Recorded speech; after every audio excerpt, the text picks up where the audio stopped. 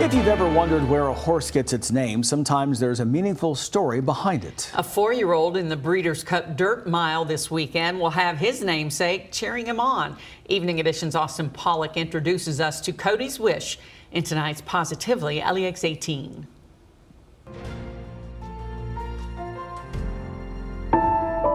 Big dreams can help wishes come true. We grew up on farms, we've been around animals before, but this was completely different.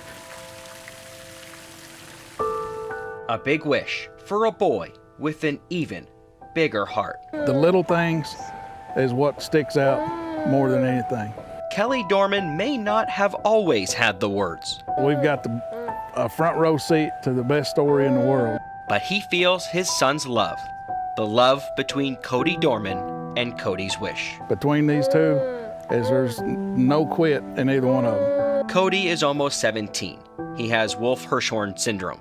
He's probably had 40 to 50 surgeries or procedures and stuff. It's uh, affected uh, almost everything about him in his life. Through Make a Wish at Keeneland, Cody's family built a bond with Godolphin Farm in Lexington. A wish is so much more than just the wish itself. It truly does impact an entire community, and Cody's wish really exemplifies that. Cody met some of the foals, one destined to grant Cody's wish. To see something like this develop into something from such a very chance meeting in the beginning to form into such a phenomenal connection um, it's just something very, very special.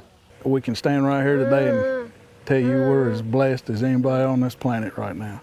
Cody and Cody's Wish, a friendship like no other, both familiar with the odds. Cody's Wish on the outside, Cody's Wish with the upset in the Forego. And the story just tells itself. It tells itself. Thank you, Cody's Wish, for working so hard and never giving up. You and me will be friends forever. But the final word belongs to Cody and Cody's wish. In Lexington, Austin Pollack, Evening Edition. We love telling positive stories happening across the Commonwealth. If you have an idea, let us know. Email us at positivelylex18 at wlex.tv.